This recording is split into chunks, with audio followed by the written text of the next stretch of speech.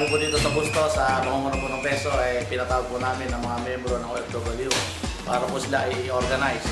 At tulungan din po sila para mapairehistro sa Department of Labor and Employment.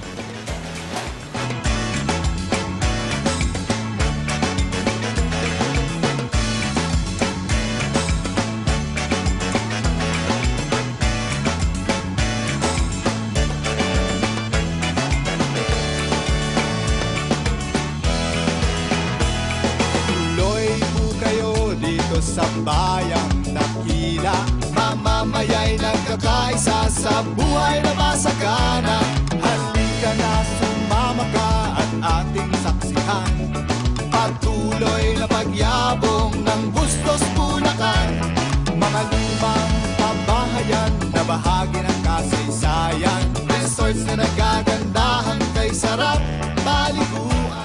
Pauna ang aking ah, pasasalamat sa Dole sa pagpili ninyo sa bayan ng Bustos ah, para mailunsad ang ah, programa nyo ng Community Enterprise Development ah, Program.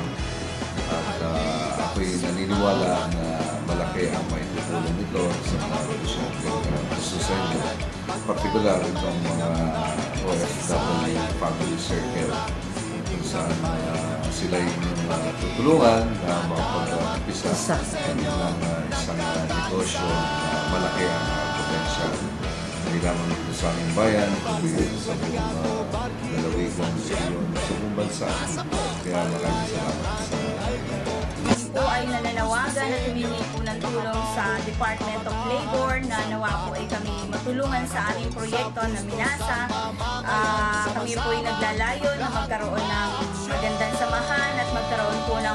Konting ah, pangkabuhayan para po kami makatulong sa aming mga mahal sa buhay na nagtatrabaho sa abroad. Kami po ay grupo na mga dependents, mayroon po kami mga um, returnees na umaasa po na angat po ang aming kinabukasan sa tulong po ng Department of Labor. May linamnam, minasa, minasa Ako po si Jane Grace